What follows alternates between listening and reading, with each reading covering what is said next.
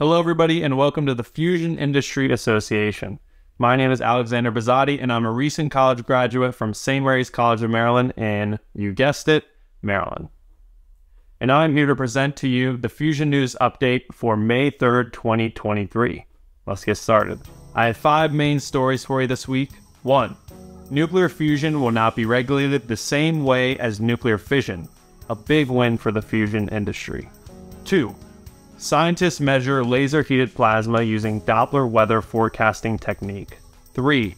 Collaboration developing silicon carbide ceramic matrix composites for fusion. 4. Japan adopts national strategy on nuclear fusion as competition intensifies. 5. Desktop fusion startup Avalanche Energy lands $40 million and logs new tech achievement. I also have three bonus stories for you this week, so stick around until the end to hear about them. 1.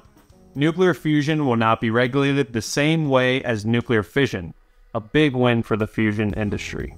During our last Fusion News episode, Jeff mentioned this story stating that fusion will be regulated under the same regulatory regime as particle accelerators and separate from nuclear fission. The Nuclear Regulatory Commission, the top governing body for nuclear power plants and other nuclear materials in the US, voted unanimously to regulate the emerging fusion industry differently from nuclear fission. Private fusion companies have raised over 5 billion to commercialize and scale fusion technology. The decision from the NRC on how the industry will be regulated is therefore a significant deal for companies in the field. This is an important decision that will give Fusion developers the regulatory certainties they need to innovate while also most effectively protecting the safety, security, and health of the public. 2. Scientists measure laser heated plasma using Doppler weather forecasting technique. For our second story, we find a recent study published in Physical Review Letters. Researchers from the Princeton Plasma Physics Laboratory, a U.S. Department of Energy national laboratory managed by Princeton University, have used a common weather forecasting technique to gain insights into how powerful lasers turn solid materials into electrically charged particles known as plasmas. The scientists use the Doppler effect, the same phenomenon that causes ambulance sirens to change pitch as they approach and then move away, to measure the speed of light emitted by the plasma produced by strong laser striking a solid target. This measurement is crucial for understanding the behavior of dense plasma, which is produced in inertial confinement fusion devices such as the National Ignition Facility at Lawrence Livermore National Laboratory. The research also found evidence for the existence of a barrier or sheath between the outer and inner layers of the dense plasma cloud. This observation suggests that laser produced dense plasma behaves similarly to less dense plasma, a finding that was not known before. The experiment was conducted using Colorado State University's Advanced Laser for Extreme Photonics facility, and the results demonstrate that X ray behavior within dense plasma can be measured with precision, despite the challenges posed by its opacity. Dr. Frances Kraus, the lead author of the study, emphasized the importance of understanding the fundamental characteristics of powerful lasers, which have a wide range of applications and potential future uses. The research was supported by the Office of Sciences of Fusion Energy Sciences and LaserNet US, and collaborators from Colorado State University also contributed to the study. 3. Collaboration developing silicon carbide ceramic matrix composites for fusion. Our third story focuses on a collaboration between the National Composites Centre and the UK Atomic Energy Authority in support of the HASTE F program. Fusion grade silicon carbide ceramic matrix composites are making significant strides in the field of fusion energy. The collaboration between the National Composites Centre and the UK Atomic Energy Authority, supported by the Royce Materials Challenge Accelerator program, is aimed at addressing key engineering challenges and the use of silicon carbide composites as a fusion material. Silicon carbide composites have the potential to enhance fusion by allowing devices to operate at higher temperatures, improving thermal efficiency and increasing the commercial viability of fusion energy production. The collaboration between the National Composites Centre and the UK AEA has resulted in a process innovation that reduces the cost of manufacturing by one fifth of the current methods while also enabling more complex shapes and thicker sections for fusion components.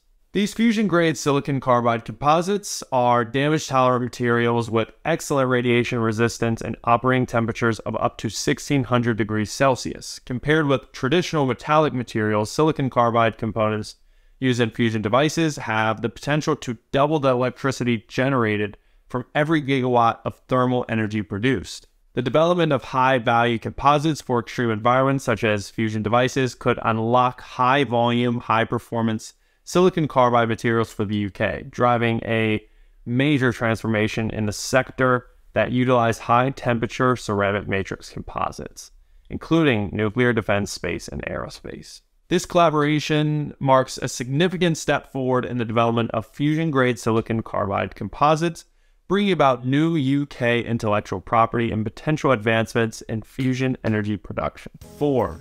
Japan adopts national strategy on nuclear fusion as competition intensifies.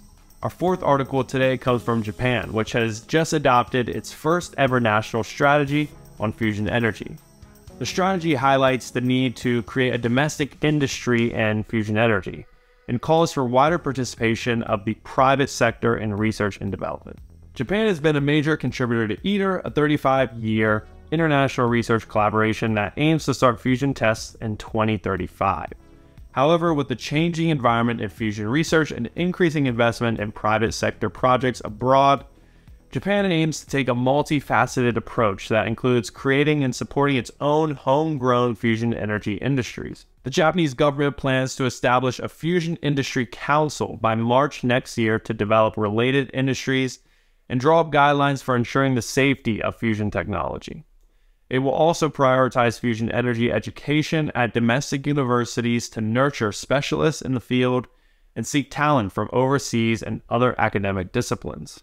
This strategic move by Japan and focus on domestic industry and academia collaboration demonstrates Japan's commitment to advancing fusion energy research and development in the country. 5. Desktop fusion startup Avalanche Energy lands $40 million and logs new tech achievement. The story comes from Seattle, where FIA member Avalanche Energy has announced a successful $40 million funding round.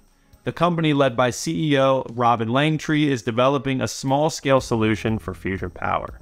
In addition to the funding round, Avalanche Energy also announced a significant milestone with their second generation fusion device, called Marty, operating at 200 kilovolts. This could potentially be the highest operating voltage achieved by any fusion device breaking the previous record of 190 kilovolts set in 2006 at the University of Wisconsin at Madison. CEO Robin Langtry expressed optimism about the progress Avalanche Energy is making, stating, We're making really steady progress. The machines are scaling how we think they should.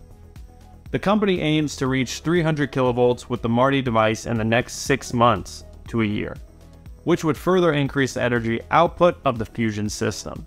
Avalanche Energy's approach to fusion energy is unique, as they are developing small-scale fusion devices that are the size of a large shoebox and could fit on a desktop. These microfusion devices have the potential to compete against hydrogen fuel cells in industries such as long-haul trucking, maritime shipping, and aviation. They could also be used in smaller electric grids or in combination with other clean energy sources. Toyota, for example, has expressed interest in using fusion devices to produce hydrogen fuel. As many of you probably know, the Pacific Northwest, where Avalanche Energy is based, has become a hub for fusion companies and research, with other notable fusion companies such as Helion Energy and Zap Energy, which are also FIA members, located in the region. This concentration of fusion expertise and research, along with what we discussed earlier, the recent regulatory changes in the US, is expected to accelerate the development of fusion technology. And lastly, we have our three bonus stories, which I promised. First, we have a cool comic titled The Future History of Nuclear Fusion, a letter from 2073, 50 years ago, as in today. Fusion energy was a ludicrous pipe dream. Now it powers everything. Dr. Tritium takes you back to pioneers of the nuclear prosperity. Our second is news from the FIA, who is hiring and looking for a UK and Europe director. So head to our site to check that out. And our third bonus story is an article from the Wall Street Journal. Tech billionaires bet on fusion as holy grail for business.